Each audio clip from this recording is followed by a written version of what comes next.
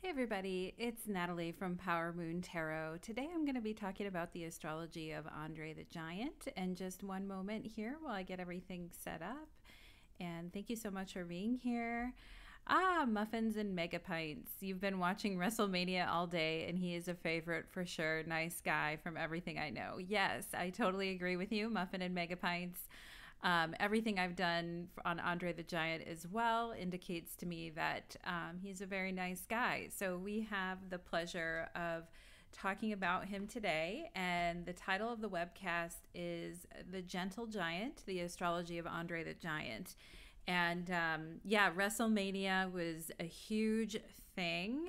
Um, I don't know if it's still a huge thing right now because I don't, I haven't seen, I don't usually watch like live television anymore, but like, um, you know, back in the 70s, 80s, and 90s, like WrestleMania was a huge thing for those of you that grew up, you know, around Hulk Hogan, Andre the Giant, Jake the Snake, um, who were all the ones. Like, there were so many of them. And, um, like, there's just, yeah, and they were all different characters. And, um, they were involved in, like, they would get in and do these wrestling um, shows. And a lot of it was showmanship and a lot of it was scripted, but also people like really enjoyed it because it was fun and it was kind of soap opera ish in a way. And the wrestlers would like have these feuds and things like that.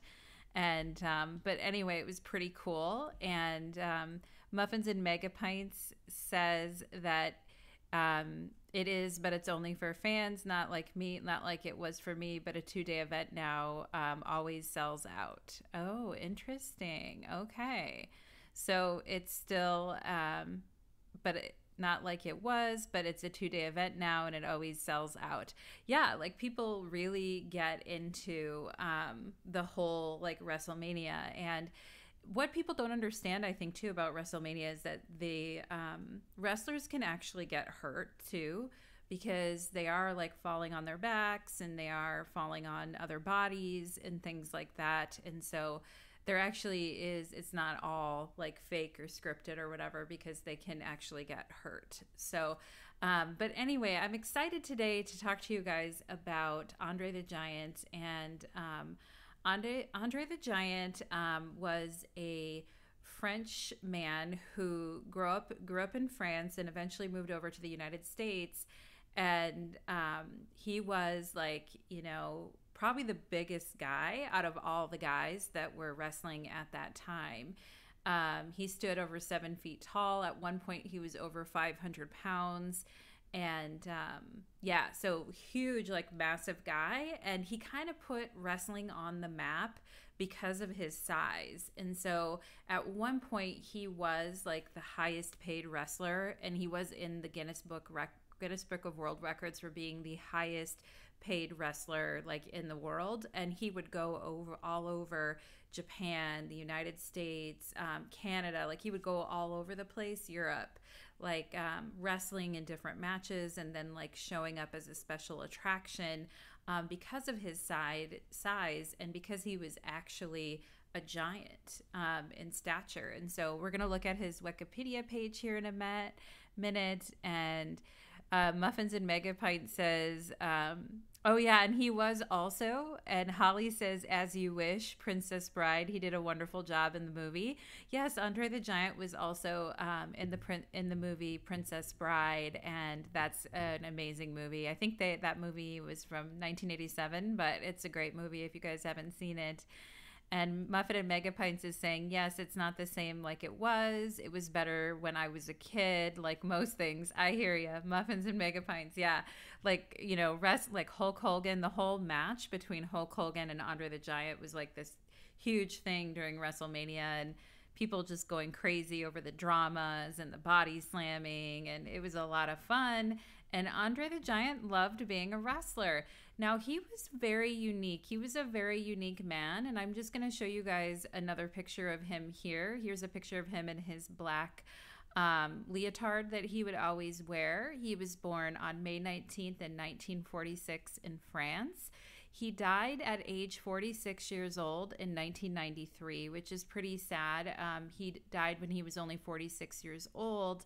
Um, and basically, like, he died of cardiac arrest because his heart gave out and it was due to his giantism. So he actually did have um, a disease that was untreated when he was a child, and as a result, he grew to like this enormous heights, and his hands would be like way bigger than like a huge man's face. Like he had um like he could lift cars and he could lift like multiple people at the same time like he just had incredible strength and incredible size and um, he really did kind of put professional wrestling back on the map. And um, as we know like there's not so many people in the world that are actually like certified giants like for real giants.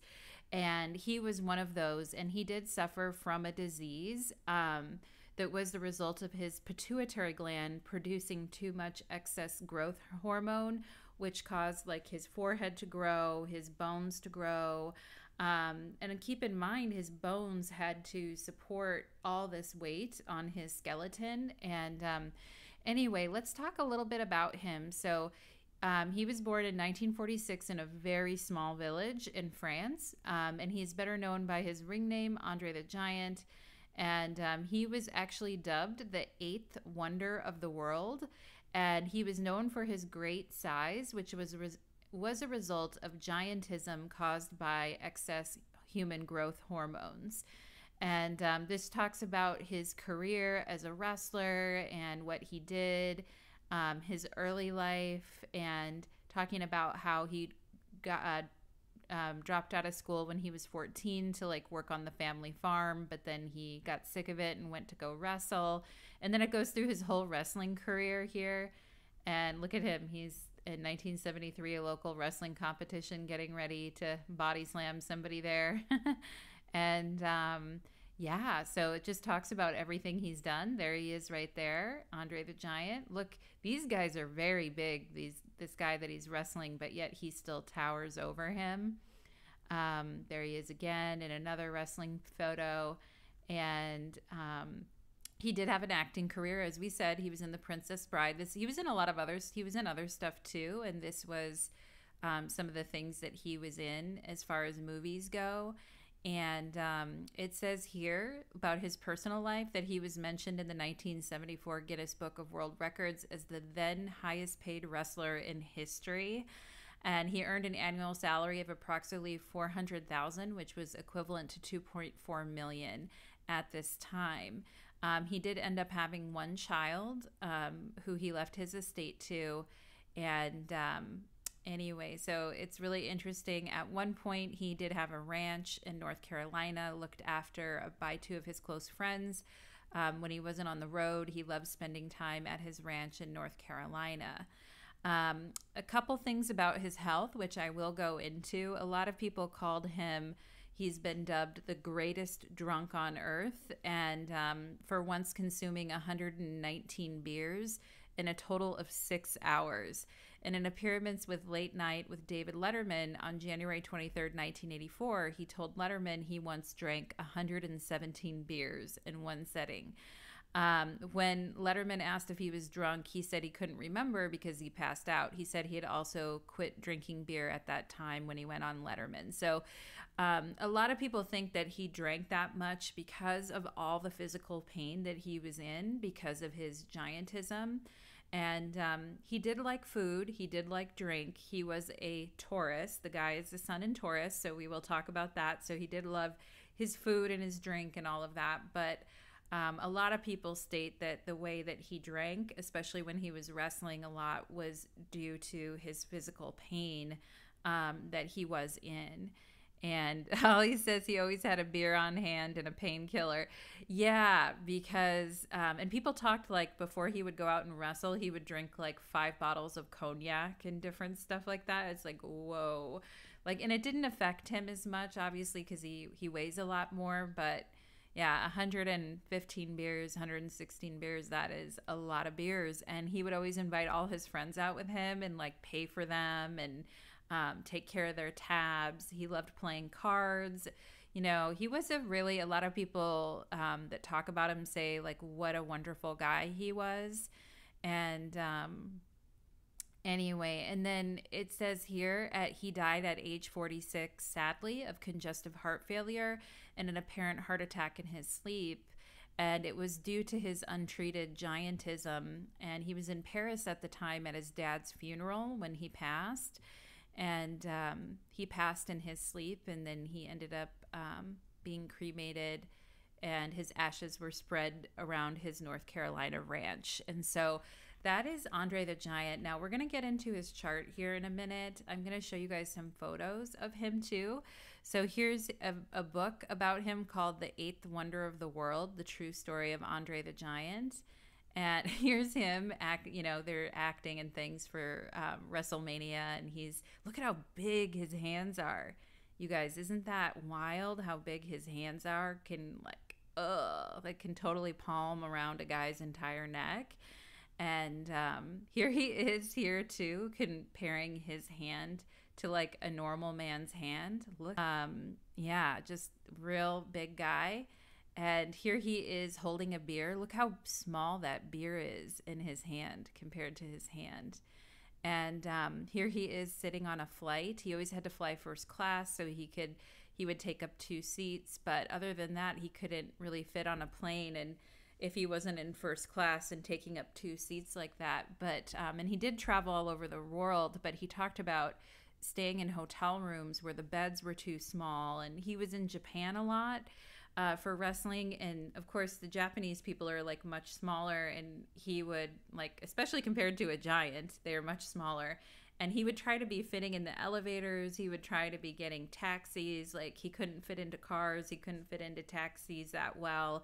Um, you know, he it was hard for him to travel all over the place, but he did travel all the time uh, for wrestling. And here's him and Hulk Hogan getting ready to do WrestleMania 3 here, where they were going to face off against each other. And him and Hulk Hogan were actually friends.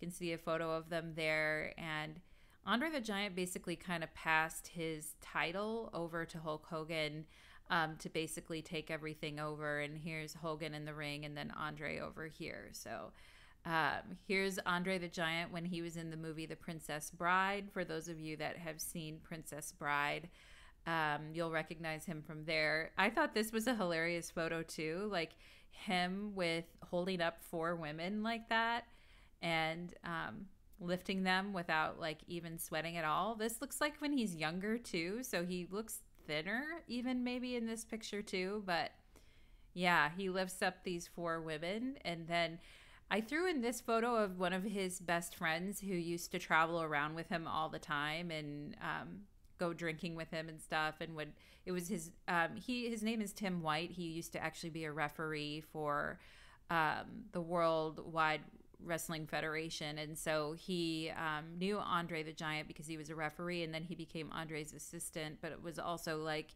his best friend too. And um, I got interested in doing Andre the Giant's chart because I saw a um, documentary of him. I think it was HBO, a documentary, I want to say. And um, I was like, do we have a time chart for him? Plus, because of his medical issues with giantism and being an actual giant, I was like, I'd really love to take a look at his chart and see what Jupiter is doing because when we think of a planet um, that is associated with being like really large or really huge, we think of Jupiter. And we'll talk about that in a little bit. So immediately when I heard that he was like actually a real giant and, and had a disease, that caused him to grow like out of control grow like that i was like oh it has to be jupiter. And you guys will see when we look at his chart what is going on with jupiter. Um, here's a picture of him and his friend again um, younger tim white that he used to travel around with. And there's just some more photos of him. Uh, here's another photo of him. And then I've got a surprise for you guys later with this last tab. So I'm not going to show you that last tab. But um, anyway, so let's go ahead and take a look at his chart. Time for the astrology. Now that you all know who Andre the Giant is. So I am going to go ahead and annotate the screen and get it moving. And feel free if you're in the chat to say hello, drop comments, whatever you like. I am going to um, bring up my thing as well here. And sorry about that, you guys. Just one moment. And um, actually, you know what? I brought up the wrong thing. Let me bring this up. Okay, perfect. So let me go ahead and we will get into his chart. Excited to have you here, guys, and let's do it.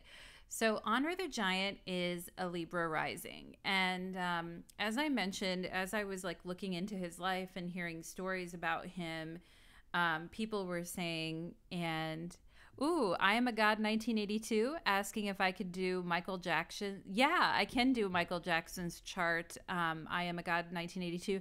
Do we have a birth time for him? Do we have an accurate birth time? I'll have to check on that. Um, so I will check and see if we have an accurate birth time for Michael Jackson, a public accurate birth time. I will definitely go ahead and take a look at that. And um, anyway, so with Andre the Giant, uh, everything I read about Andre the Giant was basically like people thought he was the nicest guy, like sweet, gentle, caring guy.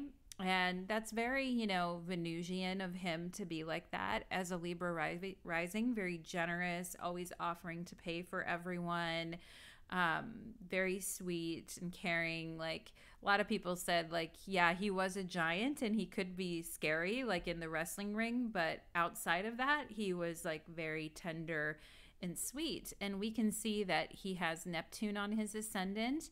Now, remember earlier when, um, I mentioned that like he was called like the world's greatest drunk in the meaning where he could drink like 117 beers in like one sitting that um basically like thank you I am a god 1982 thank you. That's MJ's birthday Michael Jackson's birthday. I'll just need to check his birth time before um I can do his chart. I'll need to look up and make sure he's got an accurate birth time.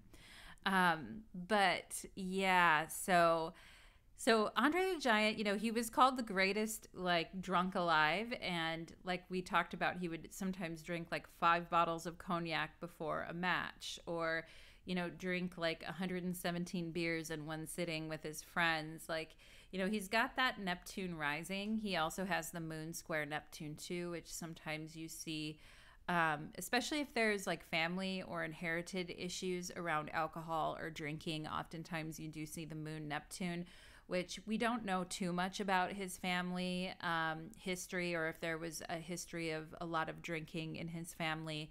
Um, perhaps with the moon and Capricorn there too, perhaps battling depression, um, body pain, physical pain, bone pain, all of that, and using the alcohol to kind of numb that pain with the Neptune rising there. And um, I am a God 1982. It says 7:33 p.m. Okay, I'm gonna check it too for MJ's birthday birth time. Um, I'm not gonna be able to do his chart right now, but um, I'll definitely look into it for you, my friend. And um, I'll check too because what I really look at when I'm looking for birth times is I look on um, I look at the Rodden rating to make sure, which gives birth times like a, a grade. Basically, it gives them like double A, A, B, C, and it'll tell you like if it's a double A, it's a really reliable birth time, and that usually means that there is a public birth certificate with the birth time correct. Um, what's interesting is that there's like astrologers who go out and particularly um, and I think there's a rule that after you get to be 75 years old in some states, I think you can request a birth certificate for the person, even if you're not the actual person. Um, so some people like you just have to wait till they're old enough. I know. Um, oh no no no, you're fine. Namaste, my friend. No no, don't worry about it. I was just kind of thinking about birth times and how important they are and things like that. Don't worry at all, my friend. Um, anyway, sorry to go on a tangent, but um, anyway, so Andre the Giant, very gentle, very caring. And um, we can see, you know, Venus is the ruler of his ascendant. He's got Venus in Gemini at the top of his chart there, um, trine that Jupiter. so indeed, like very generous, very nice, very kind. He's got Neptune on his ascendant.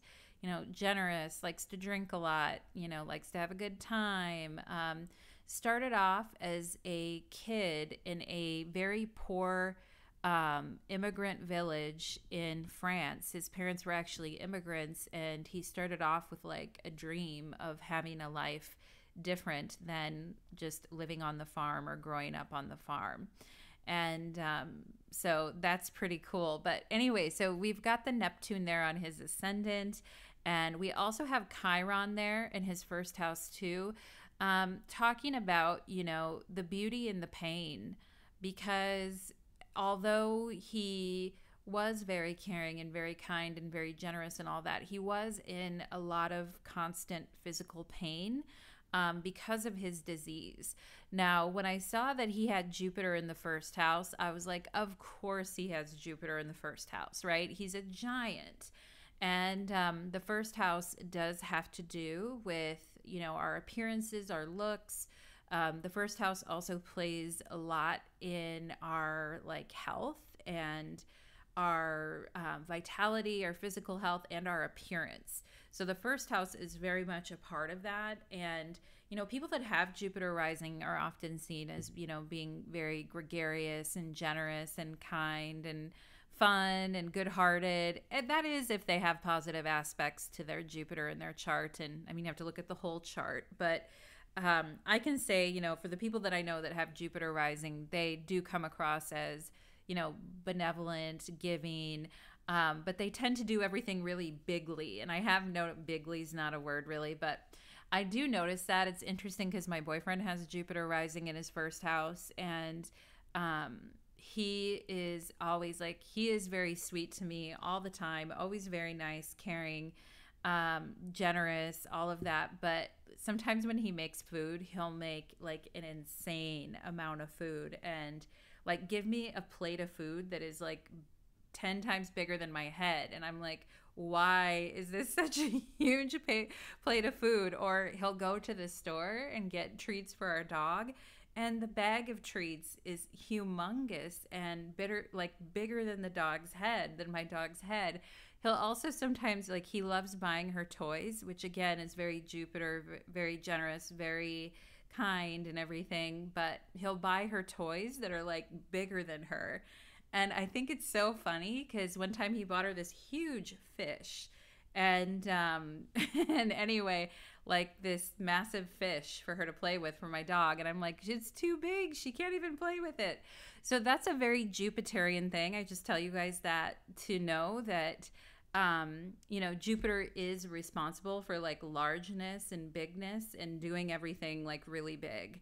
And um, so the fact that he had Jupiter rising, I was like, of course, you know, he has Jupiter rising.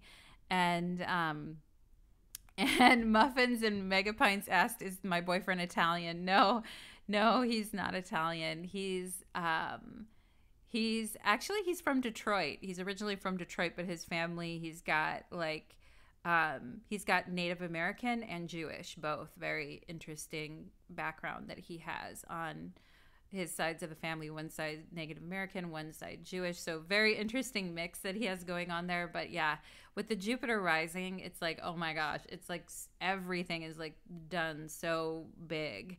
And so when I saw that, you know, Andre the Giant had Jupiter rising, I'm like, of course he's buying dinners for all his friends. Of course he's, you know, giving everyone money. Of course he's like, you know, but then there's the challenging aspect of that with the, sometimes Jupiter can represent overdoing things or um, you know but but also from a medical astrology perspective jupiter is associated um, with the human growth hormone which is manufactured um, sorry which is manufactured by the pituitary gland and the pituitary gland in medical astrology is also associated with jupiter along with the liver and um, Jupiter is also associated with fat or gaining fat. And so, you know, the fact that he was like over 500 pounds, over seven, seven, uh, seven feet, four inches tall, like huge, huge, huge, massive guy. But, you know, the Chiron part of it, where we see Jupiter with Chiron, is very challenging um, because when he would go to, let me erase this stuff too so you guys can see better, but when he would go like in airports and would be walking around, like people would stare at him. They would just be like, who is, you know, little kids would point at him and laugh, and people would like stare and point at him. And of course, Chiron represents where we're dealing with pain or a wound um, or something that's very abnormal or different. And, um, you know, it can sometimes even be something that makes us stand out from other people. And while he, you know, it's really interesting with him because he was able to make money and become this world famous wrestler because of his size.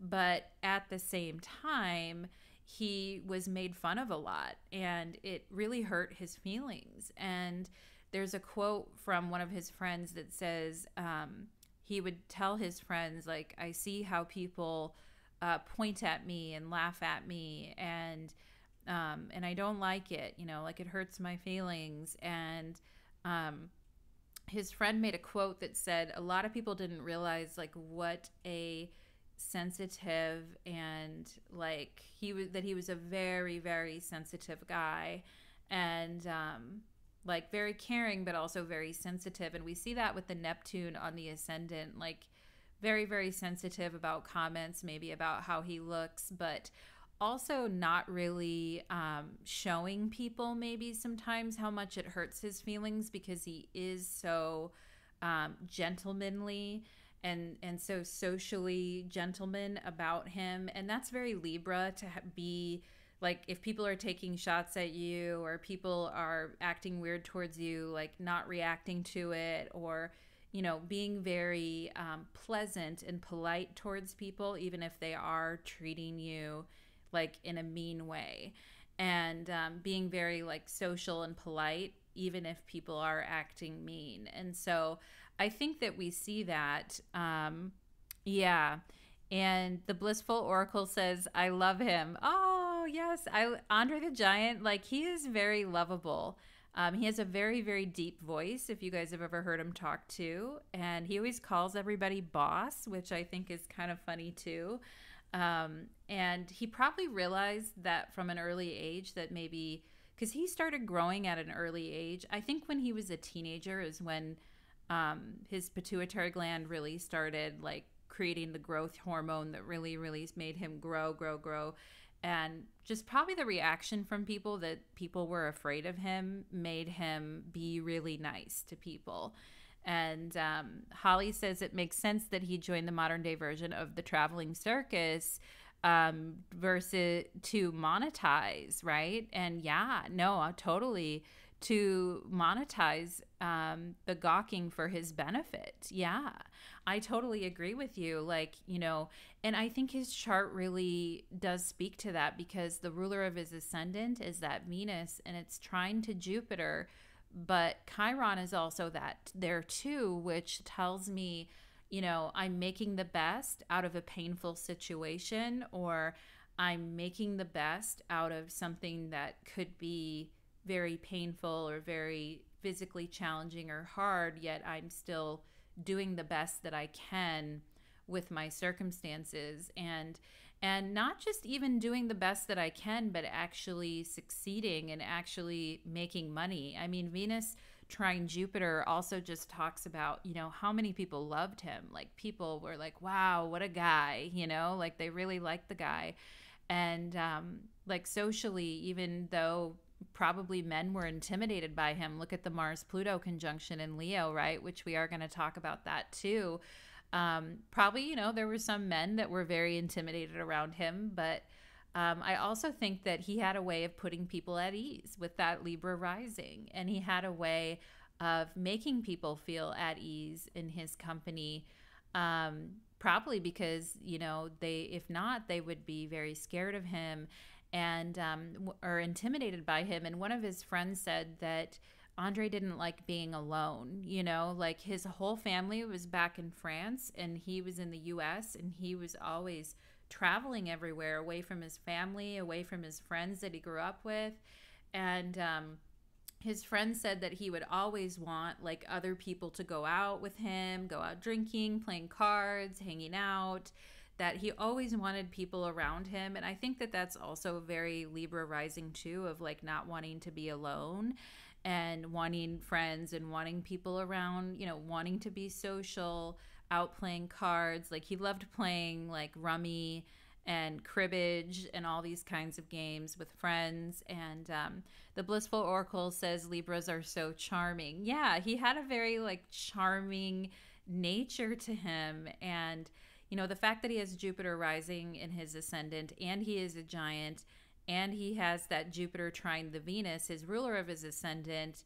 Um, even if people did stare and gawk at him, he still had a very positive impact overall, and he still was a very positive person too. On top of that, and so, um, yeah. So we're going to talk more about that Venus trine Jupiter, and you know, um, that's also a really nice uh, wealth signature as well, particularly with the Venus in the ninth house of destiny and good luck and all of that. And and he did have an amazing destiny because he went from living in a poor immigrant village of like 30 people in France to becoming the top paid wrestler in the entire world.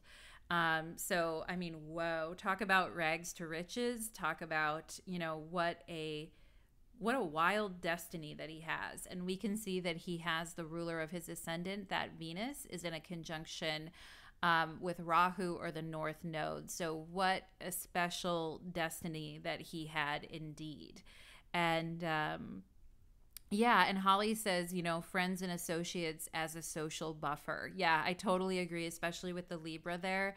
Um, you know, having friends around him and having people around him as a social buffer because um, he said sometimes he would like walk into a, a bar, an establishment to play cards with his friends or whatever, and people would just get scared and leave. But if he has people around him and everyone's being nice and friendly and everything, then it's more like he can fit in more if he has more people around him. And so, yeah, Holly, I really think that you are on to that.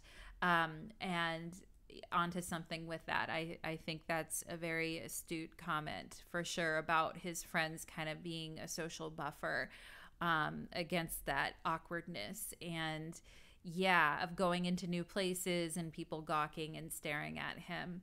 Now, um, one thing I always look at in the chart too is the balance of the elements. And his chart has a lot of air. It has a ton of air and earth in it. He's got the moon in Capricorn. He's got the Mars in Leo. He's got some fire there, but he only has one planet in water. And that is the Saturn in Cancer, which I also thinks I also think that, um, oh no, muffins and mega pints, you lost sound. Can everybody else hear me okay? Let me see. Let me see. Everybody, is everybody okay? Can everyone hear? I can hear. I just played back. I can hear myself. Hopefully, you all can hear me. Um, oh, muffin pop. Ba- oh, okay, Holly, you can hear. Good, good, good. Um, said to pop back, pop out, and come back in. Um, oh, thanks, Holly. Okay, good. I was getting worried. okay, so the whole chart actually um, has very little water in it. And he does have Saturn and Cancer. Now, Saturn is debilitated in Cancer, but I also think what that says is it says that in his 10th house of career, right? Saturn is develop, develop, debilitated in Cancer in the 10th house of his career and he has very little water in his chart as it is and i think that that says something about the price of success right and there's always a price with with saturn and part of his price i think was um like a lack maybe in connection and certainly a lack in family. And as we know, cancer is associated with, you know, our tribe, our clan, our village, our family, um, a sense of belonging in that and a sense of being connected. And, you know, for him, the big price that he had to pay um, in order to be successful was, you know, basically having a lack of that in his life. And, um, he also did have, and I think it was hard for him to form um, maybe I mean, he was very social and he did have friends, but I think it was harder for him to keep those family ties and keep those deeper connections in play because he was also traveling 320 days out of the year. And so, I mean, he was constantly on the road, constantly traveling.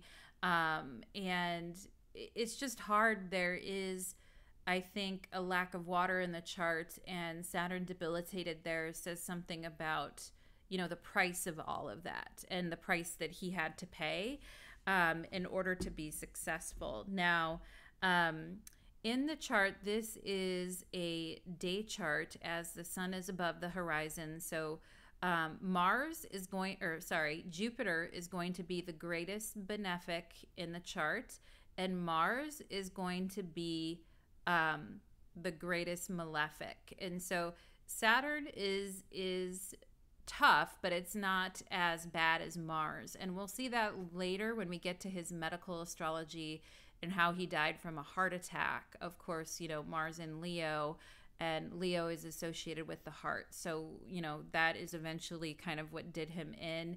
Um, Saturn, also a malefic, is there too, and it is squaring his Jupiter. And we will talk about that more as we get onto the more medical astrology of it all.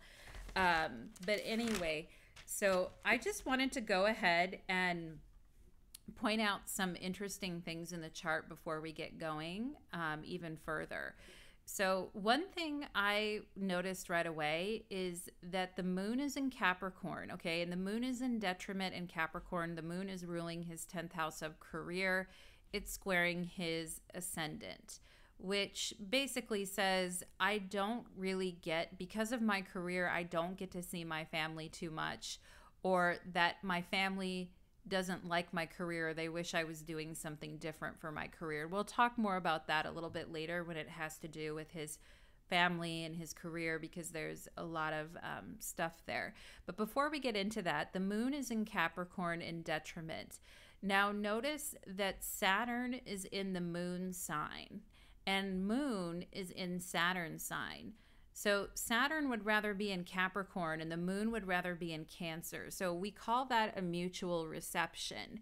Now, that mutual reception can also be helping that Saturn out a little bit there too, but technically, even if you notice the mutual reception there, technically they're not within orb of each other.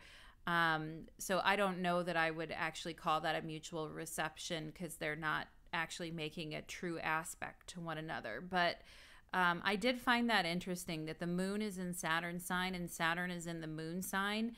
And the moon is ruling his 10th house of career, and Saturn is ruling his fourth house of family. So we'll talk more about that later because that's a very interesting signature right there for him. And um, anyway, we'll talk more about that in a little bit. I just wanted to point that out. Also, I want to point out too like I said, Saturn is debilitated in Cancer and it is squaring um, the Jupiter in Libra. But keep in mind, Saturn is exalted in Libra and Jupiter is exalted in Cancer. So the Jupiter and Saturn are in a mutual reception to each other. So even though Saturn is squaring that Jupiter, it's still getting some benefit um, as the Jupiter is in Saturn's exaltation. So um, we'll talk about that a little bit more when we get to the medical astrology, but I just wanted to point out some of those technical things in the chart that I think are really going to become apparent later as we go on. Okay? And let's go ahead and begin. So we kind of already began, but we're going to really, really take it home now. Okay. So I did mention um, that he did have a disease that caused him to be a giant, and I mentioned when we deal with Jupiter, we are dealing with you know bigness and largeness.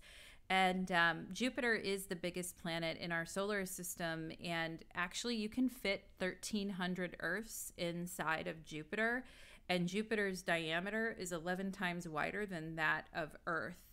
And um, so, I mean, Jupiter is huge. Like, it is a massive, massive planet. So, when we talk about somebody being, you know, massive or large or having excess human growth hormone, as I talked about, we are talking about Jupiter. Um, Jupiter rules fat, it rules largeness, justice, optimism, having a carefree attitude, wealth. Okay, he has Jupiter in the first house. He was um, the wealthiest um, wrestler in all of wrestling. Jupiter rules wealth. Gentlemanly behavior, okay, is Jupiter. Having a good positive disposition is Jupiter. Jupiter also rules abundance, and Jupiter also rules flatulence, okay, or passing gas. And um, yeah, and it's funny. Yeah, Holly, birth chart version of the Uno Reverso. Yeah, for the Libra risings. And um, I thought that was so funny. My Vedic astrology teacher mentioned that, and and my Vedic astrology teacher was like, "Yeah, Jupiter rules flatulence," and I was like, "Huh?" And I thought about it, and I was like, "No, I get it. Like if you're stuffing yourself and overeating and having tons of food, that's what's gonna happen."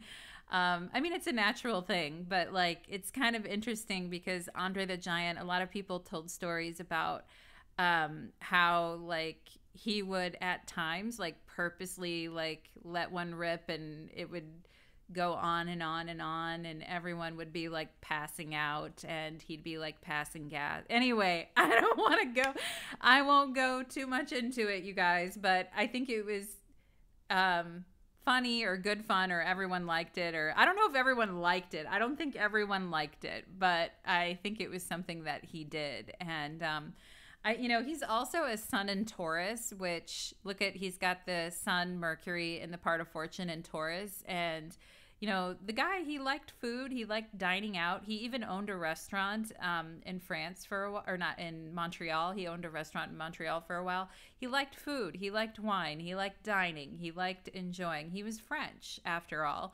and um, but anyway, um, his friends did tell stories about his epic like passing of the gas. But anyway, guys, um, that is, you guys are like, huh, Natalie? But yeah, I had to share that with you guys. So that is Jupiter. And um, Jupiter can give us a good belly laugh as well, or kind of like that amusement about life. And um, when we see the ruler of the first house, which is that Venus and Gemini in the ninth house, trine Jupiter in the first house, um, that's where I talked about making the best of a tough situation with the Chiron there, with his size and um, all of that. Like making it's it's tough and it's uncomfortable and it's not easy, but he makes the best of it. And um, you know what's interesting is the ruler of the first house, uh, Venus, is in the ninth house of foreign travel. And um, because of his size, Jupiter in Libra, because of his giantism and his size, he gets to travel and see the world. So he goes to, he's been to almost, in an interview, he said he's been to pretty much every country except for like the communist countries, is what he was saying, I think. And so he's like been everywhere. And um, for like a poor kid from, you know, an immigrant fa- family growing up a, on a farm, in France to like go from that to traveling the entire world, like that is pretty epic. And um, just alone of having the ruler of the first house in the ninth house could indicate, especially trine Jupiter, um, you know, having good luck while traveling, making money while traveling, um, you know, having success while traveling, especially with the North Node there in Rahu. And, um, Holly says, I'm interested to see how Mars plays with the bone marrow density given his Mars place Mars placement. Yeah, we are going to um and and I think it's also the Saturn that we want to look at because Saturn has to do with the bones, but um Mars does have to but Mars particularly in Leo, um inflammation of the heart or um swelling of the heart, which I do think, you know, he did have because of his disease. He did have inflammation, swelling of the heart, issues with the heart. So we will be talking about that. Um, but talk about, you know, a guy who is in a lot of ways blessed with some really positive karma of having the ruler of the first house trine Jupiter in the ninth house, like travel, see the world, go everywhere. Um, ruler of the first house in the ninth travels all over, lives overseas in the US. Um, he sets up a farm with friends in North Carolina. And um, it's interesting because even though he moves to the US and he's traveling all over, he does set up a farm in North Carolina, which, like I mentioned, he grew up in a farm in France. And I think it's funny that um, he does have his son in Taurus. So there is this very pastoral, quiet, peaceful living on a farm, close to nature, that very Taurus side of him that he never quite ever gets rid of, even though he's jet setting all over the world and wrestling and traveling and doing all this. And um, it's funny because in the interviews, people mentioned that there were like two sides to Andre, which is very Venus and Gemini ruling the ascendant, like two sides to to Andre, where one he was like traveling all over and wrestling and in the in the ring and er and you know I'm gonna get you and all of that and being really tough and strong, Mars Pluto. But there was also this other side of him um, with the Sun in Taurus where he could live like a very chill, like living on the farm, living out in nature, like a very chill lifestyle, a very quiet and chill lifestyle. And so, um, yeah, so I think there were like two sides to him. And there, that farm side of him that he grew up with never really kind of like left him and I think it kind of brings back that old adage of no matter like where you go in the world, there you are type of a thing. Um, anyway, so that is that. Now, um, I think, you know, it's interesting too because uh, the third house does have to do, the third and the ninth house both have to do with travel. And you can see the ruler of the ninth house, which is this Mercury in Taurus is square the Mars, so uncomfortable situations while traveling. And then also the ruler of the third house, which also represents travel, is square the Saturn. So um, both planets, which represent travel um, in his chart, the rulers of the third house and the rulers of the ninth house, are both square to malefics in the chart which to me also talks about um, his uncomfortable feelings while traveling, like bodily uncomfortable feelings, where he would, um, you know, like get made fun of, or they'd try to charge him extra at the hotels because he was too big, or the beds were too small and he couldn't fit in the beds. Um, you know, just like traveling, it wasn't necessarily like no taxis would come to pick him up. Basically, his friend who was smaller would go have to wave down the taxi and then Andre would pop out of nowhere and try to get in the taxi and the taxi would just take off like I'm not taking you anywhere. And so he, you know, there are these issues when traveling or these um, hurdles and limitations and challenges um, because of his size that he does need to get over while traveling. But at the same time, he does an awful lot of traveling with the ruler of the first house in the ninth house. Okay. And um, anyway, so we also, I want to talk a little bit more about this Chiron as well. And Holly, this comes back to your point where you're talking about using like social situation as a buffer to kind of get away from the pain and embarrassment, like having friends around. And I do think that that is very Chiron and Libra, like very, very. And, um, you know, Chiron in the first house also, sometimes when we see Chiron in the first house, we can see someone who has like a physical disability or has a physical limitation. Um, and, you know, the first house does have to do with our appearance as well, particularly in a sign like Libra, which can sometimes, you know, is a Venus ruled sign, can have to do with appearances and the way things look and kind of, you know, feeling doubts about the way that one looks or um, like we talked about, like Chiron indicating the wound where we feel like people are picking on us or bullying us because of that. And, um, but Chiron can also indicate like a physical health I- injury and, um, you know, in the sign of Libra too, because Libra is associated with the hormones, as Libra is ruled by Venus, and it is associated with hormones, etc. And um, you know, just the problem with the pituitary gland and the hormones in his body with that Chiron and Libra kind of changing his appearance in the way that people perceive him. I do think that Chiron and Libra there is is quite important. And like we said, it's with Jupiter, so he turns it to his advantage and makes money off of it. But it's still not easy. And um, I also think he neglected his body a lot. And um, you know, like he was, so he got diagnosed um, when he first went to Japan, is when he got diagnosed with his giantism. And they could have given him medicine to help him, but he basically said, if this is the way that God made me, then this is the way I'm supposed to be.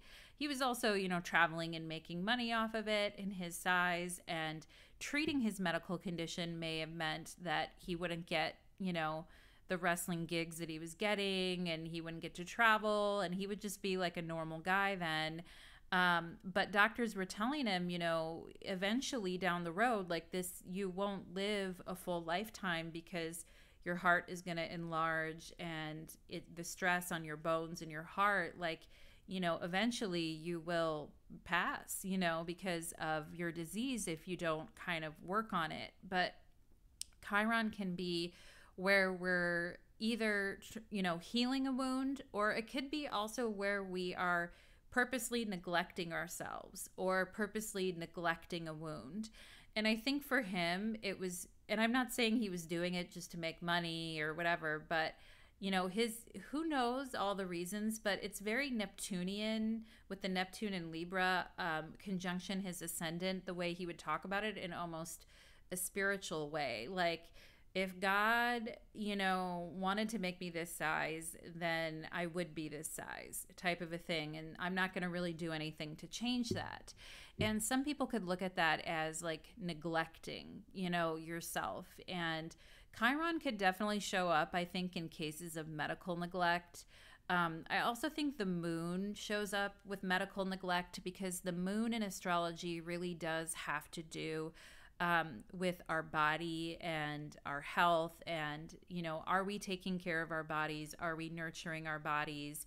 Are we you know like putting time and effort into taking care of our physical avatar which has to do with the moon? And do we put a lot of um, you know some people put a lot of stock into taking care of their physical avatar and some people kind of just thrash their physical avatar and don't really care and you know with the neptune rising and the drinking which you know he could have been doing to manage the pain you know we will say that.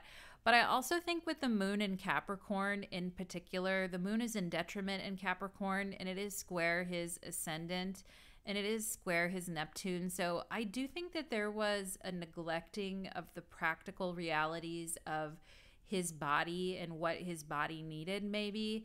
And it kind of points out to how he was raised because even when he was a kid, if he would have had, you know, if his parents would have had more money, if he would have had more access to medical care, you know, he lived in a village of 30 people. He he grew up on a farm with poor immigrant parents. Like there just wasn't resources for that.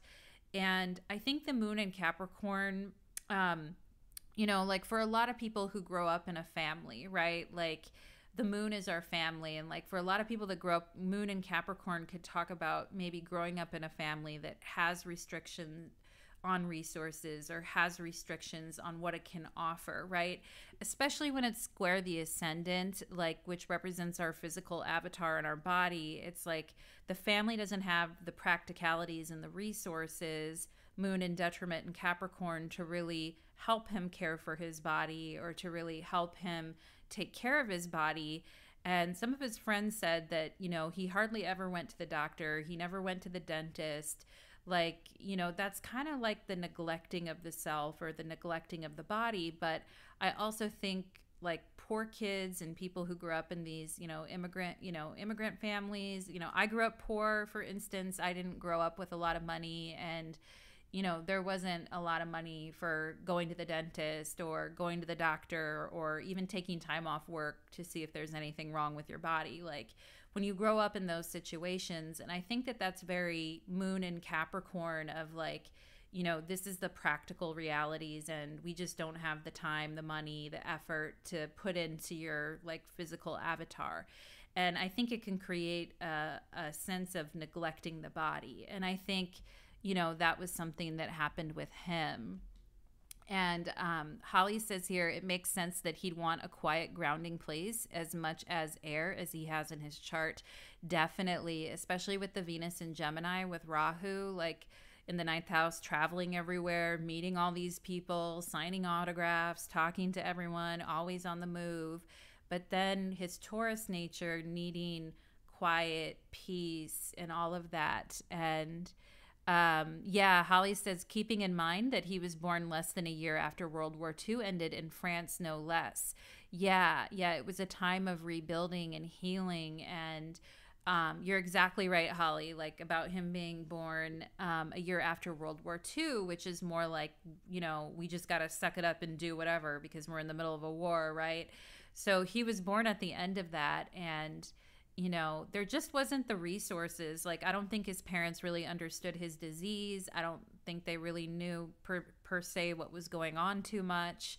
And, um, and I think maybe it did lead to a pattern of self neglect. And sometimes, you know, with Chiron, that can very much be a thing of self neglect. It can also be where we're healing and we're rebuilding and we're taking care of ourselves, but it can also, on the flip side, be a place where there is neglect going on. And I kind of wondered that with the moon in Capricorn square his ascendant.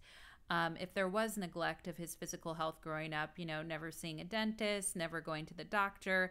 And the moon is all about our habits. And if our habits instill within us, our family habits instill within us a um, pattern of not taking care of our own needs and not taking care of our body and things like that, then when we grow to be older, we don't put a whole lot of emphasis on it then either. You know, and there was an, a way about Andre the Giant too, where I think he kind of realized because of his giantism, he wasn't really going to live forever. So it's like, okay, let's eat, drink, and be merry. You know, Sun and Taurus, let's eat, drink, and be merry.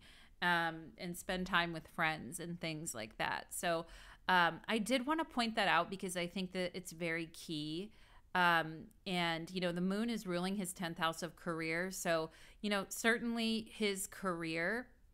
Now, keep in mind when we think of the sign Capricorn, we think of the bones, we think of the joints, we think of um, the knees, for instance. And um, so, with that moon in Capricorn squaring his ascendant, he did have a ton of problems with his bones, his joints, and he did have multiple knee surgeries. And um, just to be able to get into the ring and wrestle and work around his physical limitations because at one point he as a wrestler he it hurt for him to even walk. He was walking with a cane at one point.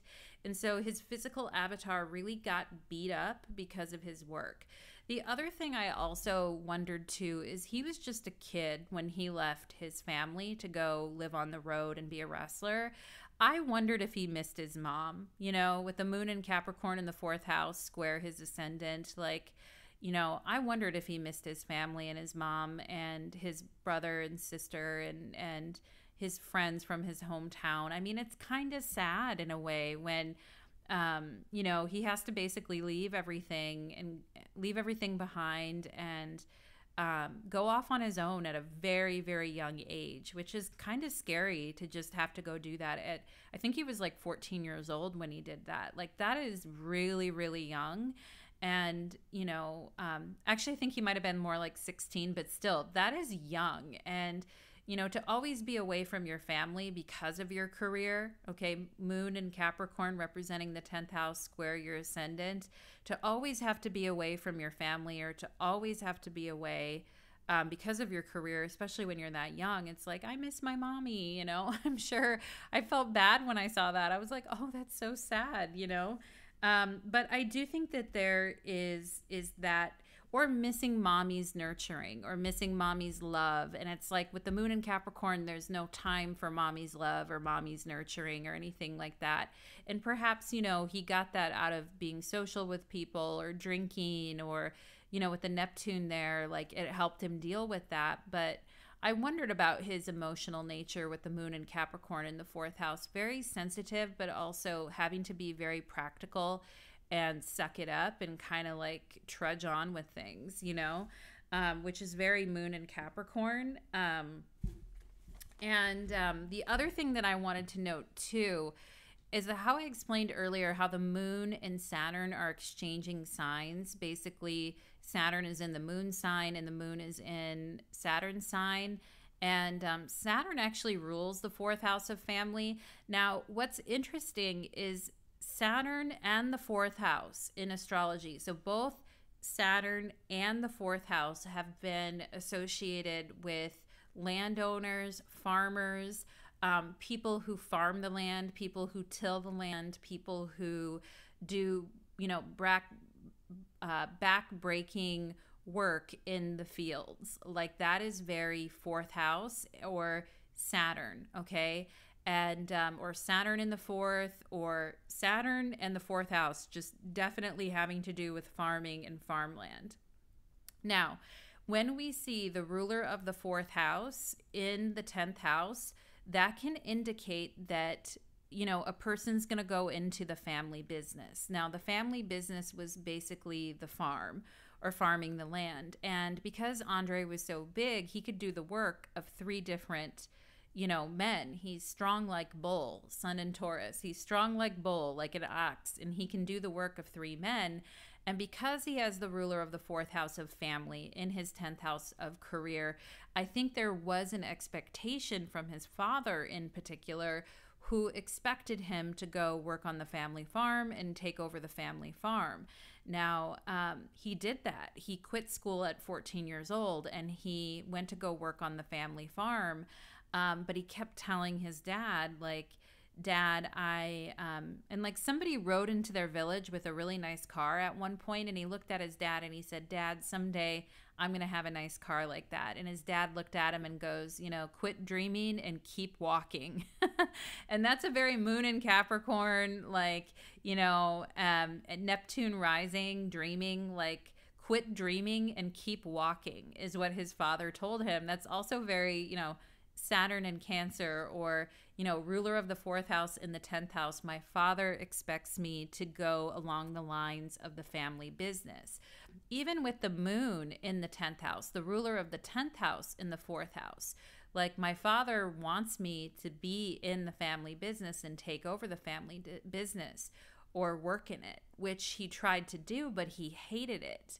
Okay, Moon and Capricorn, ruler of the 10th house, square his ascendant. He hated the family business and not hated it, that might be strong, but he really disliked it. Um, and he could have found it, you know, Moon and Capricorn square the ascendant. He could have found the family uh, farm like very depressing, very like droll, very much like the same thing every day, very like hard backbreaking labor on the farm. Like just not what he wanted. And when you look at the ruler of his ascendant um, as being venus and gemini in the ninth house like trying to get him to sit still or be in one place it's like no he's not just going to sit on the family farm forever and like work on the family farm. And had he done that that would have made him unhappy. And with that moon squaring his ascendant i think his unhappiness about not following his dreams, Neptune rising, caused him to leave home. And um, he told his father when he left home, if I don't make any money, I'll never be back.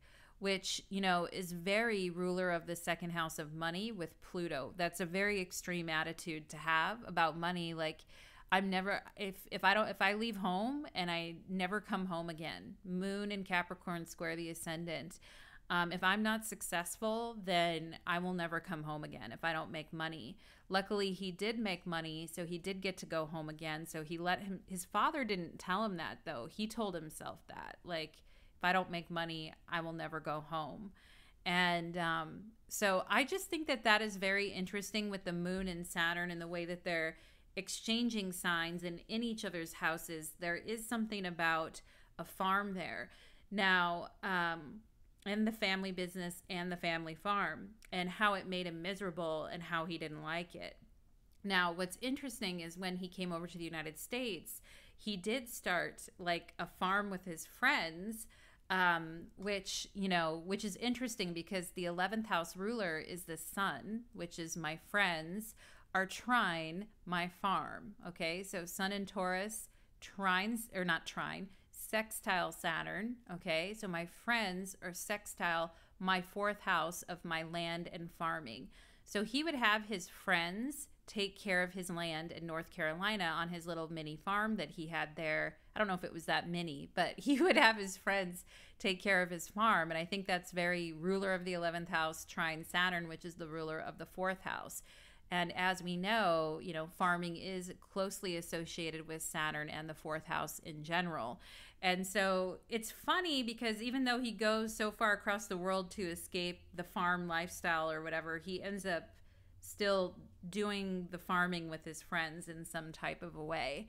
Um, which again goes back to the Taurus concept of like doing the same thing that you already know. Um, so I think that that's interesting about the moon and the farming and the father. And um, we also see, like in in the type of astrology that I practice in Renaissance astrology, the fourth house is associated with the father and the foundation of the chart.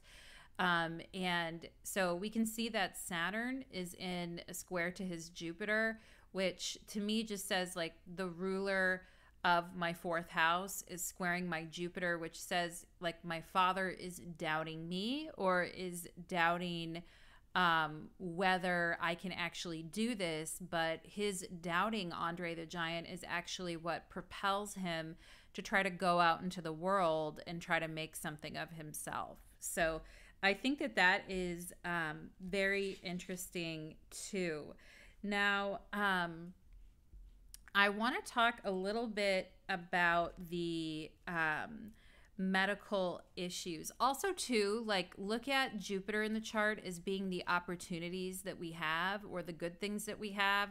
But his ruler of his fourth house of family is squaring that Jupiter. So it's like my opportunities in life are limited because of my family. So I can't really stay with my family. All right. Moon and Capricorn square the ascendant, but I miss my family at the same time, or it's sad that I can't be with my family because of my career. So there's this whole kind of, you know, mess in his chart around that issue and around the issue of um, his father like doubting him and feeling like uh yeah you're not like i don't think you can go do that or i don't you know but also just the limited opportunities of where he grew up uh, ruler of the fourth house square his jupiter like living in a town of 30 people in a village um, with immigrants is like you know an immigrant village is like limiting his opportunities to go and see the world which is what he wants to do with the venus and gemini in the ninth house Okay, so that's some pretty intense astrology right there, and I think it's interesting. And um, one thing I also want to point out too is because Saturn is the ruler of the fourth house of the foundation. And Saturn is also associated with our skeleton and our bones and, you know, holding up the frame of our body. It is in a square to this Jupiter, kind of saying it's hard for my bones and my foundation and, and my bones and my body to hold up this Jupiter frame, this Jupiter body that I have. And um, what's interesting in astrology is we have something called um, like a superior square or an inferior square, and it is a way to further break down aspects. And in this case, Saturn is in the superior position to Jupiter in that it is overcoming Jupiter. So those, you know, issues and limitations having to do with his largeness and his, you know, where he was born and um, the doubts of his father, like all of that is in a that Saturn is making a superior square to that Jupiter and is overcoming that Jupiter. Um, but at the same time, it's not ruining everything for him because um, Jupiter and Saturn are both in each other's exalted signs and helping each other out there. And also, Saturn is the in-sect malefic. So it doesn't ruin everything for him. He still gets to live to 46 years old and gets to live out his dream, but there is a big drag um, on supporting all of that Jupiterian you know, largeness, there's a huge drag on his skeleton, on his knees, on the foundation of his body, like everything. There's a huge drag in the sense that his bones have a hard time carrying all of that weight. And um, so I think that that's also a very interesting thing. And um, let's see, what else did I want to talk about too? Um, let's go ahead. Now that I'm into the Saturn Jupiter stuff, I want to start going into the medical issues. Um, so, as I mentioned, Saturn is overcoming Jupiter and is in a is in the superior position and is making a superior square to Jupiter, which just means Saturn energy is overcoming that Jupiter. Um, so what ends up happening is that he ends up having um, not only like you know excess growth hormone issues but he also you can see like his because um, jupiter rules the pituitary gland the liver um, diabetes like all of that is associated with jupiter. And we can see saturn is overpowering jupiter and is creating issues in in those areas of his body. And um, yeah, so but at the same time, he's able to still live to 46 years old because Saturn is the in-sect malefic and they are exchanging signs. So they are in a mutual reception there, Saturn and Jupiter, but he still has extreme limitations and extreme extreme pressure from Saturn put on his liver, um, his pituitary gland, um, his bones, the um, the incorrect functioning of his pituitary gland is also um, as a result of that Saturn, I believe, as well, like the incorrect functioning of his pituitary gland.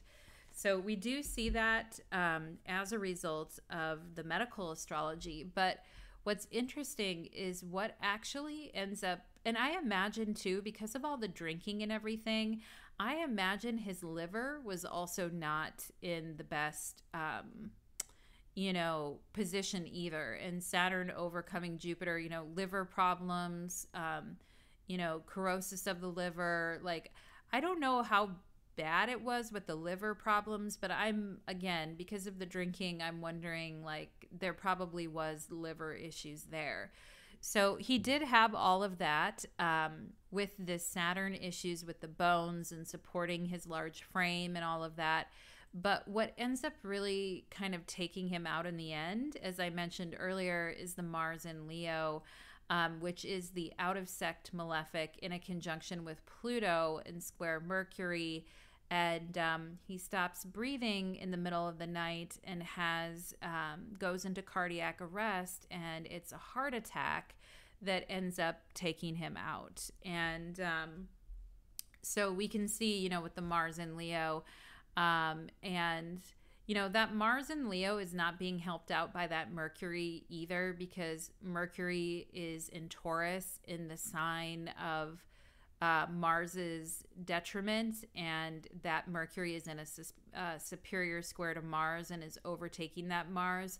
So that Mercury isn't really helping that Mars either. And um, it's interesting because at the time when he died, he was living in the US. So he was in Paris when he died. So essentially, he was overseas when he died, ruler of the ninth house in the eighth house, square the Mars in Leo. He was overseas while he died and um, you know he probably shouldn't have been traveling at that time and you know basically like mercury controls um, the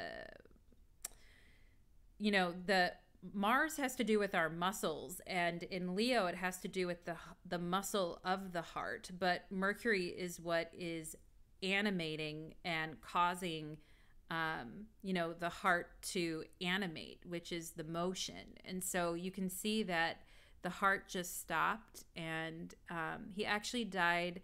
I believe he died in his sleep, which is also, you know, Mercury is ruling the 12th house of sleep and in the eighth house there of death. And so you can see he has a heart attack while he's sleeping at night. um, in a foreign country, basically where um, he's traveling away from home. And you, so you can really kind of see the death aspect of what happened to him. Now, in medical astrology, um, Leo does rule the heart, the spine, and the eyes primarily. And um, he had major problems with his heart and his spine. Um, I didn't hear anything about his eyes, but basically, you know, having the greatest malefic in his chart in Leo, um, you know, tells us, you know, making an aspect to that Mercury in the eighth house does tell me that it's like, okay, he's got, um, you know, like there could be issues with the spine or the heart that kind of does him in at the end of the day. And that is what did him in pretty much at the end of the day. Um, I also think the Mercury and Taurus too square the Mars because normally, like in charts, when you see Mercury square Mars, that can be somebody who like can really pop off um, at the mouth and can really like say really cutting things at times. But I don't with the Mercury, but the Mercury in Taurus is actually like a lot slower and um you know, thankfully is calmer and slower. So I don't think he was as much like popping off. And I actually don't think he was known for like shit talking in the ring. I don't think he was much of a shit talker. And keep in mind, English was his second language. And also that people had a tendency to say that he would speak very slowly, which is Mercury and Taurus. And at times he would give like kind of short one word answers to things, which is very Mercury and Taurus square Mars to kind of give short one word answers to things. But then people would think that he was mad at them when he was kind of giving those short one word answers. So you can see the Mercury square Mars. I also think Mercury square Mars, especially because Mercury rules the ninth house of travel, is talking about his problems and issues and difficulties while traveling. Like he still likes it, he still enjoys it, Venus in the ninth house, but there is like issues with the logistics. He can't get a cab easily, he can't find a bed that fits him easily. Like there is problems with it. And um, one thing I can say about Tauruses, uh, particularly that have a lot of heat in their chart or have a lot of Leo in their chart, they do not like to be crowded. And um, I know for sure because like my boyfriend's a Leo rising and he also has a bunch of Taurus in his chart. And I'll tell you guys, when he's in a big crowd of people and he's he's tall, he's very tall, and um, you know, but and he's probably I don't know, he's probably 200 pounds. He's not a huge guy, but he's tall and you know, little stocky. But it's like when he's in a public space, he hates it when people crowd him. Like he cannot stand it. He goes off. Like, I mean, he doesn't scream at people or yell at people, but I can see like the steam coming out of his head. Like, it's like, oh my God. And I have to wonder like, people talked about how Andre the Giant hated being crowded. And if you can imagine a Taurus person with um, their Taurus planet square Leo, which of course Leo brings a lot of heat and like, you know, being in a cramped place, like being in a cramped elevator in Japan with like tons of people, would just, I, I don't think he would say anything. Uh, I don't think Andre the Giant would go off or say anything, but you could just probably feel the irritation coming from him because I, it's one thing I do know is Taurus people do not like to be crowded in any type of a way. Like they need space around them. And then you also add Leo into the mix with getting overheated and getting hot easily. Like, ugh, it's not a good combination. Um, so I think that that's very funny. And I also think the Mercury and Taurus square Mars and Leo is very much like what you would expect kind of from a giant. Like, you know, giants, they're not always very like talkative. They're not talking all the time. They're not you know, maybe known for being insanely clever, but they and they may be kind of like slow to anger or slow with their words at times, but with the Mercury square, Mercury and Taurus square Mars, you could see like an anger building or like him getting very like silent and not saying anything and then people going oh like is he gonna freaking explode? Like you know that's a very giant thing to just kind of have a giant sitting around playing cards but then all of a sudden is up like flipping tables and and rampaging through the house. Like i feel that's a very giant a person that's a giant i feel that's kind of a giant thing. but um, yeah, that'll clear exactly, Holly. Enter the flatulence. Enter the. there is a story about him being in Japan and in a tiny little elevator, they just kept letting more people in and more people in. And um, they said he turned and he winked at someone and then he like passed gas really loudly and everybody just was like left the elevator. but anyway, um, I just think that that is very, and you could see people because with the Mercury and Taurus in the eighth house, I wonder if he would get quiet sometimes when he's thinking or talk slower or communicate more slowly, Mercury and Taurus. But then people wondering, like, is he about to explode? Is he mad? Is he, you know? So I think that that could be something that maybe people could get afraid of. Although he doesn't really seem like the type of guy who is just flipping tables and going off on people, but you know, everyone does have a temper, so I wonder or everyone has anger, right? So I wonder if he would just get really quiet when he'd get mad and and if people would start to get nervous when he got quiet. I'm i'm best i'm guessing yeah. And as holly would say yeah if you let enter the flatulence that will clear the space quickly. Yep for sure and um, anyway, so I think, and I, I also think it's funny with the Mercury and Taurus. Like a lot of people were like, "Oh, is he like not very bright, or is he slower, or something like that?" But it's not that. The guy spoke multiple languages, and he did have a funny, clever, jokey kind of a side to him. But I also think people would ask him the same questions all the time, over and over in interviews and you could even on the David Letterman interview, he you could tell he was starting to get annoyed because he was only giving one word answers, and um, it was kind of making David Letterman uncomfortable. And so, yeah, you've got that Mercury Mars tension there. And um, anyway, I do want to talk about the Mars Pluto as well. So, um, you know, and one thing I noticed right away, of course, like a wrestler who's known for their showmanship and the dramatics of wrestling and professional wrestling, um, and just the like body slamming and the you know the very competitive like I'll body slam you type of energy. That's very Mars Pluto. And when I saw that he had Mars Pluto in the eleventh house. Mars Pluto in astrology does indicate can indicate super powerful, like superhuman strength. And particularly in the sign of Leo, it's like I like showing off my superhuman strength, you know? And um, when you put it in the 11th house, it's also very much like, and the crowd roars. And because the 11th house is where we find like our supporters and our people that are clapping for us and you know it's so funny because he has that mars pluto in leo conjunction um, in the 11th house. And here's how i wrote it down. I wrote he's a huge star okay? Mars pluto and leo. He enters the ring. He performs in a massive arena to thunderous applause showing off his brute strength right? Mars pluto. And um and to thunderous applause and people going, yeah, you know, because he's like body slamming and throwing people around. And that's very Mars Pluto, like in Leo. Like, I'm going to show off my brute strength and I'm also going to get the crowd like really riled up to see and the crowd like really really pumped up like you know in the Leo aspect of it for a total smackdown. Like, you know, the crowd is roaring and I've got them all pumped up and the crowd's going crazy and now I'm going to smack these people down. Mars, Pluto, right?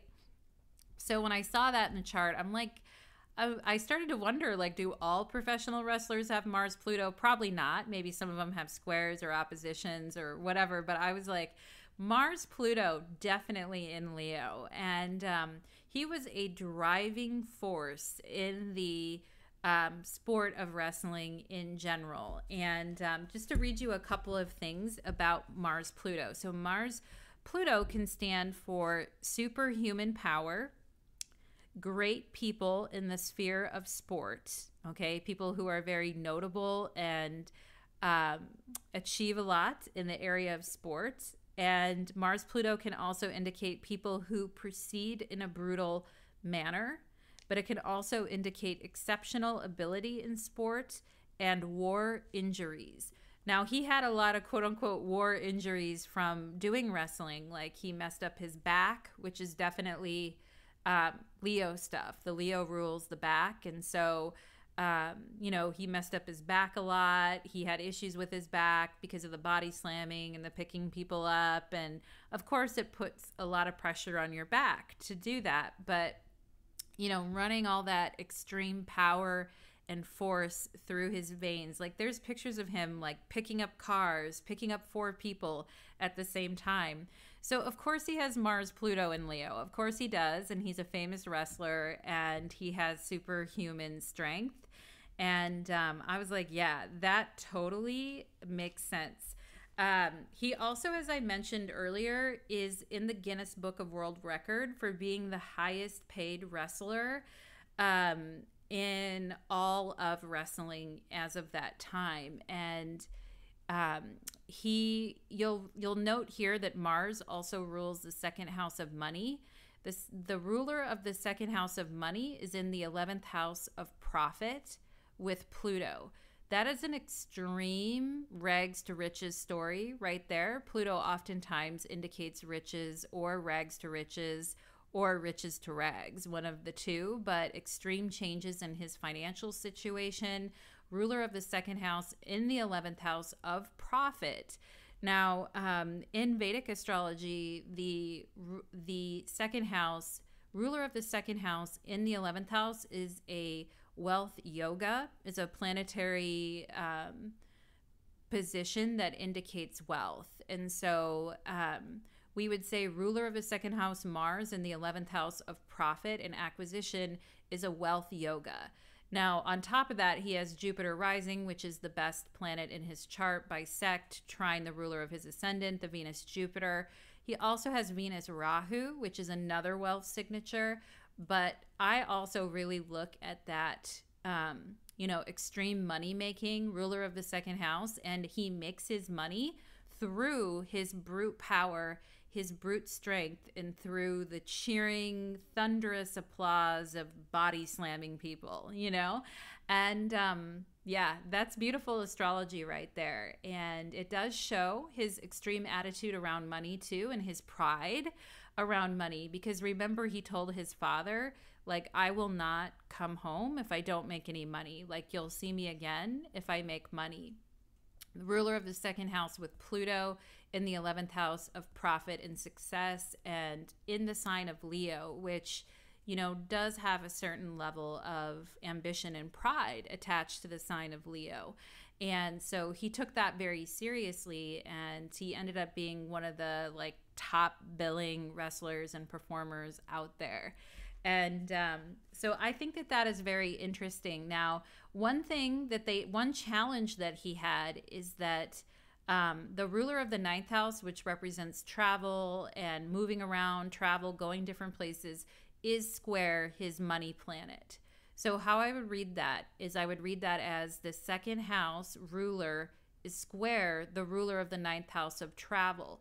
So, he has to travel around in order to make money. And if he stays in one place too long for too much of a time, people, the novelty wears off. You know, like he would go and he'd be in Canada for a while, but then he would stay there for too long and the novelty would wear off. And so they kept having to move him around and move him around um, because he is like a special attraction wrestler and people want to see a giant and they want to see a giant body slam another guy, right? And so like after they've seen that a couple times though, it's like, well, what else is there to see, right? And so it did affect his money in the sense that he always had to be moving around and he always had to be traveling in order to make money. And um, that is stressful, you know, especially since traveling was so challenging for him anyway.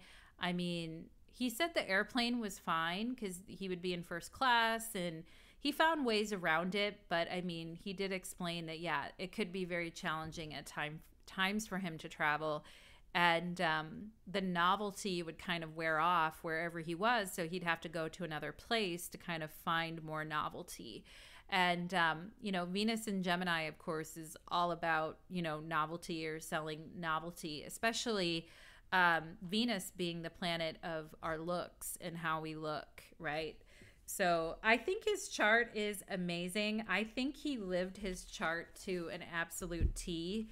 And um, yeah. So I also want to, so let's go ahead. After talking about the Mars, I want to go ahead and move on to the Venus Rahu conjunction. And as we know, Rahu in astrology represents the North Node, and um, his Venus is in a conjunction with the North Node. Now, earlier I talked about he has him having this special destiny, particularly around the way that he looks and um, you know because venus does have to do with our appearance and how we look and it's also the ruler of his ascendant which is also having to do with you know how we look and how we look in the world. And so him having a special destiny to fulfill around that and um you know i mentioned earlier how he told his dad hey dad if i don't make any money i'm not coming home as a point of pride, okay? Ruler of my second house of money, conjunction Pluto and Leo. As a matter of pride, if I don't make any money at this, I'm not coming home. Okay. His dad thought he was going to be back home in a couple of weeks, but what he didn't realize is that his son had a special destiny to fulfill with the Venus Rahu conjunction in the ninth house that would take him all over the world. And so, um, yeah, so he had a special destiny to travel all over the world and meet tons of people. Okay, Venus in the sign of Gemini. And his father, like, really didn't know what a low tolerance his son had for, you know, sitting in one place and waiting for something to happen, which is very Taurus, you know. So I'm not saying he doesn't have that aspect of him where maybe he would feel comfortable, like, waiting in one place, waiting for something to happen. But at the end of the day, he felt this very strong pull to achieve his destiny. And that is very like ruler of the first house with Rahu.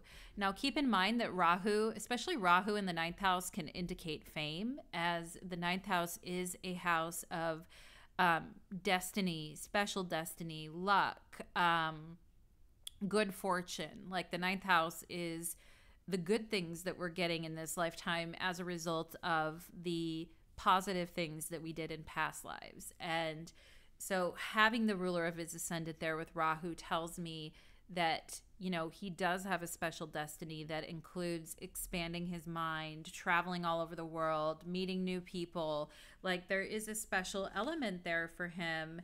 And um, it is a part of his destiny. Now, um, I do have one other point that I want to try to sneak in here before I keep talking about. You know what? I think I'm going to save it because we are on the Venus Rahu. Because don't let me forget to talk about his Taurus sun at 27 degrees Taurus because I am going to talk about that. But I want to keep going on the Venus Rahu in Gemini here in the ninth house because we're on it. Um, we should know that um, Venus, Rahu or the North Node is very well placed in Gemini. Like Rahu does like to be in Gemini, and Ketu, its opposite, or the South Node, does like to be in Sagittarius too, particularly in the ninth and third house. So that's a very strong position for the nodes. Now, it's not great for relationships and for quote unquote settling down. Now, keep in mind, Venus is the planet of relationships, and um, because Andre the Giant was always traveling and going places and like he was traveling 320 days out of the year, that is not really conducive to having a relationship. And um, we can also see Uranus is there too. So there's a lot of like quick, fast relationships um, that perhaps he would get into, or maybe girls he'd hook up with, or because women liked him. That was the other thing. Like they said, they go, "Oh, he has um, his ring, his ring ring finger is a size 24." Like, what does that tell you, ladies? Wink, wink, right? Like that type of thing. So. Um, with Venus and Gemini, there was probably a side to him that was kind of a flirt that liked variety. But I also feel like his lifestyle of jet setting and globe trotting and going everywhere isn't really conducive to having a continuous relationship or settling down. Now, he did end up having a child with a woman um, that he was with for a while, but for most of his life, he was going around traveling, um, meeting different people. Like his life just not really conducive to that. And so I will say that even though Rahu is very well placed in Gemini and Ketu is very well placed in Sagittarius. Now, I think it's interesting with his Ketu in Sagittarius because, um, or South Node in Sagittarius, because it makes me feel that perhaps in a past life he did travel around a lot or he lived a life of a nomad. And to come into this lifetime and not really want to stay in your village of three, 30 people and go and see the rest of the world because perhaps in a past life you were a nomad, you know? And I could see him like in a past life being like, you know, a sheep farmer or something like that and like taking his, um, I don't know what you call, a, it's not a flock of sheep, but you know what I mean? You know how farmers like, hundreds of years ago would be nomadic and would go all over the place with their families and like travel all over. Um, I feel like perhaps he had a past life like that, which prepared him in some way for this lifetime of traveling all over because it seemed very natural to him in a lot of ways. And to grow up on a on a farm with in a village of 30 people and to just kind of naturally like flow into traveling in this lifetime and enjoy it and be easy about it is kind of unusual. And so it makes me feel that perhaps in a past life he did travel or he did have some type of a nomadic lifestyle. And um, I wondered too if perhaps he had a nomadic lifestyle that had to do with a sibling in a past life. What I find very interesting that in this particular lifetime time he did travel with his best friend named Tim White, who is like a brother to him, and actually cried when he realized that Andre died in Paris when he wasn't there with him and he cried about it. And you could tell that Tim White like saw Andre as a brother and they were really like best friends. And I wonder if those two like you know maybe they were brothers in a past life and they traveled together. I mean we don't know. We have no way of knowing. But for those two to kind of like fit together so easily and travel everywhere together, I, I think there is something key about that. Um, and, you know, having that support like of a brother or a friend along with you is a big deal. And um, yeah, for a, for a guy that grew up in a village of 30 people, he like embraced traveling and going everywhere like it was a second skin. Like you know, I think it's pretty interesting that, uh, pretty remarkable that this big guy who had a hard time fitting into things saw the entire world with his best friend. Like, that is so, you know, Rahu in the ninth house and Ketu in the third house. Like, it is so in, in Gemini and Sagittarius. Like, that is very on point there. And, um, yeah and, you know, with the Venus in Gemini with Rahu in the third house, it's about being on the move all the time, but opening his mind to his dreams and visions of, of his life and what he wants. The ninth house is very connected to our dreams and our visions that we have for ourselves. And um, his ability with Venus there to get comfortable with that right away, and with Uranus there too to live with the changes and the ups and downs of everything. Like I, I think that's a very curious and interesting thing.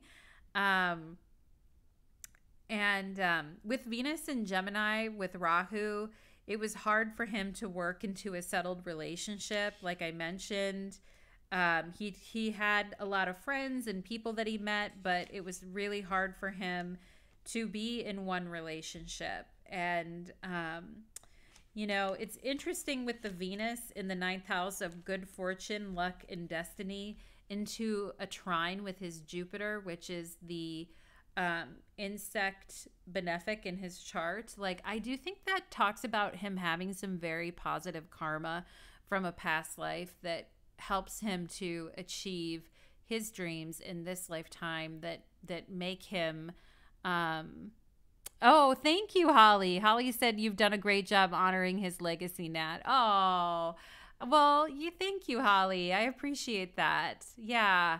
I think um i think he had some blessed karma you know from a past life. Maybe it was making sacrifices for family. Maybe it was traveling or always being gone or um, maybe in a past life, it was one of his brothers that was gone and he had to stay back with the family. And in this lifetime, he gets to go.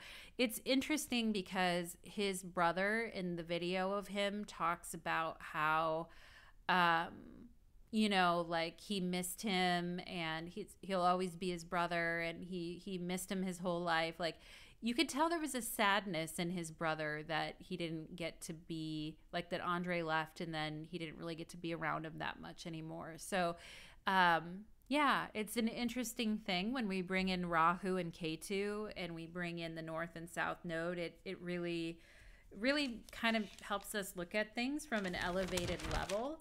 And um, I also just want to mention that Rahu in general is, or the North Node right here in Gemini, is associated with um, being an outsider or being a foreigner. So he would travel all over the world, okay? But he was, and he was well loved by people with the Venus there, with Rahu, but he also was always like an outsider or a foreigner his whole life. But again, I don't think he like let it bother him too much, or I think he was able just to kind of go with the flow and, and be mutable with the Gemini there and just roll with it which really did help him. Um, but keep in mind in our chart that the North Node or Rahu signifies the search for self realization. And Rahu wants to be out searching for new experiences, particularly in the ninth house and particularly in the sign of Gemini. Um, with Rahu and Gemini in the ninth house, there's a need to be a part of something, to never be still, to be independent, to have a love of variety, um, to speak multiple languages, which he did, and um, you know somebody that needs freedom in their activities. And with Uranus there, also taking the path of the unexpected.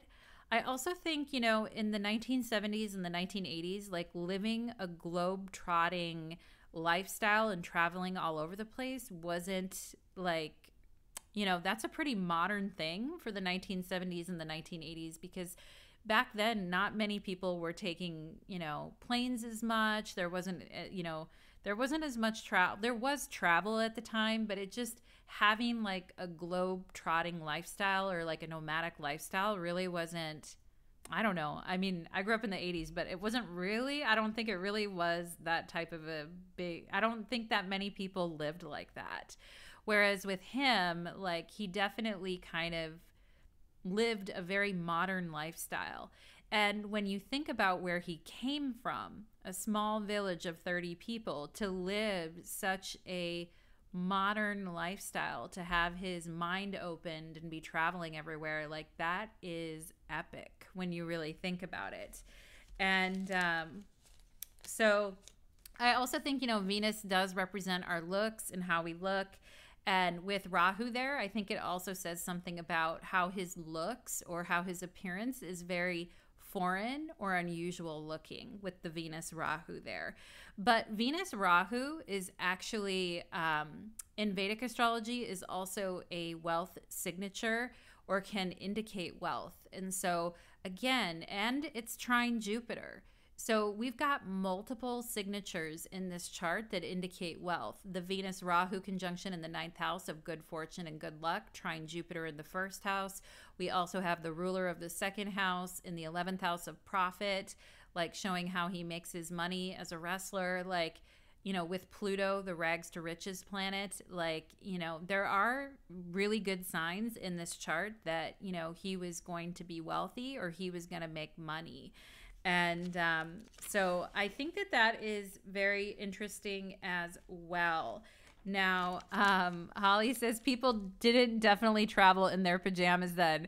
Yeah, like, you know, Holly, yeah, for sure. Like, people didn't, I mean, people weren't like digital nomads like back in the 1970s and the 1980s. Like, it wasn't a thing then, like people are now. And so he was kind of like an early nomad. Um, like early adopter. And Uranus oftentimes has to do with people who are like early adopters or early at doing something. And um, so, yeah, I think that that is very interesting about his chart. Now, the last couple of things that I do want to leave you guys with well, there's two things actually. Um, I want to read you guys a poem at the end, which I think signifies his entire chart. But before I do that, there's a couple of stray little things I want to tie in um, that I haven't had an opportunity to mention. And one is his sun at 27 degrees Taurus. Now, I haven't even talked about his sun too much, except to say um, that it rules his 11th house of friends and it is in a sextile with Saturn. Um, and his friends look over his land or his farm in North Carolina. And we see that positive relationship of him giving those responsible responsibilities to his friends. I have responsible friends who watch over my land. Um, but I haven't talked much about his sun in Taurus. I just would like to share that um, the sun in Taurus at 27 degrees Taurus is in a conjunction with the fixed star Algol and Algol is located at 26 degrees Taurus. Now, for those of you who are familiar familiar with fixed star Algol, Algol was the associated like with the head of the Medusa. And um, as we know, like Medusa's head, like was made of hissing snakes, and if she looked at you, you would turn into stone. And people were afraid to look at Medusa. Now, I think it's really interesting that his sun is in a conjunction with Algol because I do think that people would get scared of his appearance. And um, I do think people could be like frightened by him in that same way that people get frightened looking at the face of Medusa, right? And um, that fixed star um, at 26 degrees Taurus, of which his sun is in a conjunction with, can indicate like a fearful appearance. And you know people kind of being afraid of him because of that. And um, people being scared of him when they see him.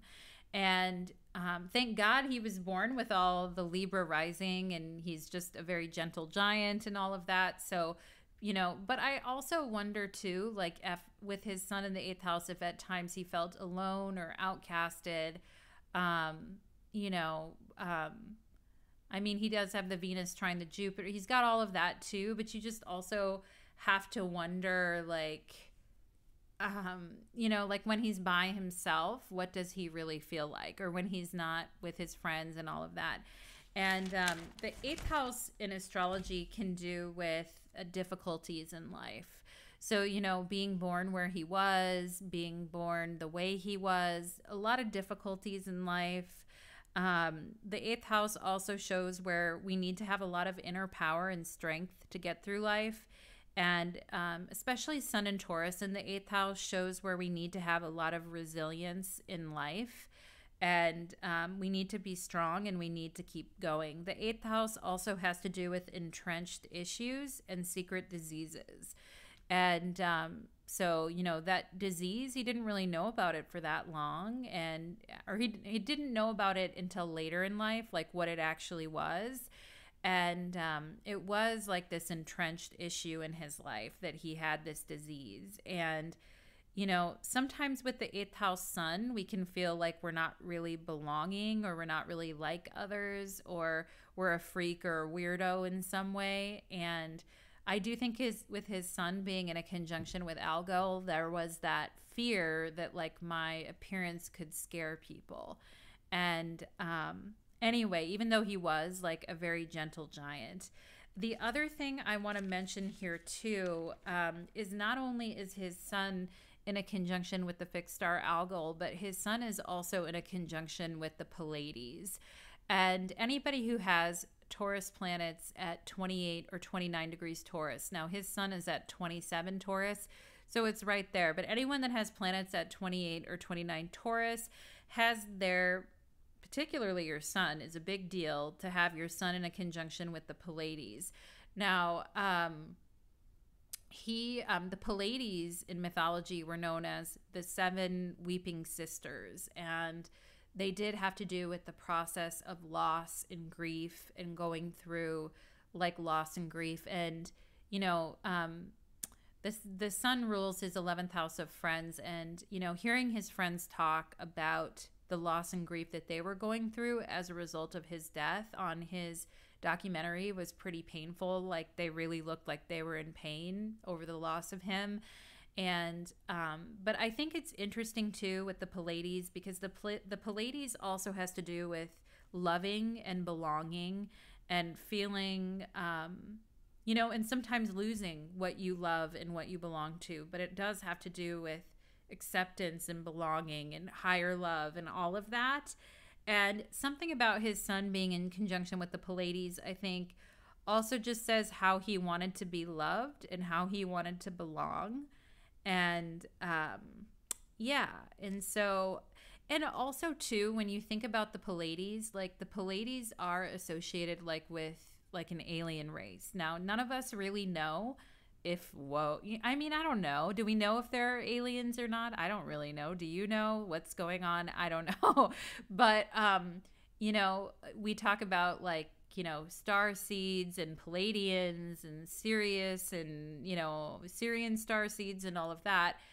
You know with the with the whole thing of being like an alien or being different but also being a person that is here to spread like love and beauty and belongingness and you know when i think about like and who knows about all of this right? But i'm just riffing here. But like if there is such a thing as an alien race of Pleiadians, can i could totally imagine there being giants you know?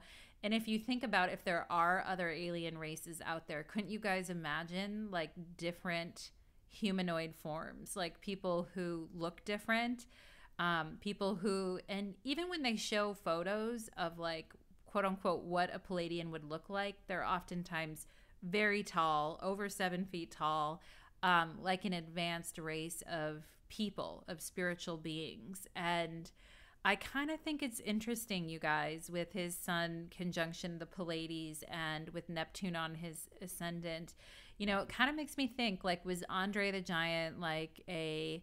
Um, was he like a Pleiadian? Was he a, and I may be going too far out there for some of you guys here, but I just have to say it like, because I could see that if there is such a thing, I could see there being like giant Pleiadians. And I wonder, like, was he a giant Pleiadian that came to Earth and was here and bringing this, you know, experience to Earth? And, certainly people that look different and I mean aliens are always kind of feared too because they look different or they're not you know they they just look different than the rest of us it's weird or it's different or they've got green skin or blue hair or whatever you know like they're they're eight feet tall like i could totally see that and i just think it's kind of interesting that his sun is in a conjunction with the pleiades and um, also the fixed star Algol. So anyway, take that for what it's worth. Take it for a grain of salt, but that is kind of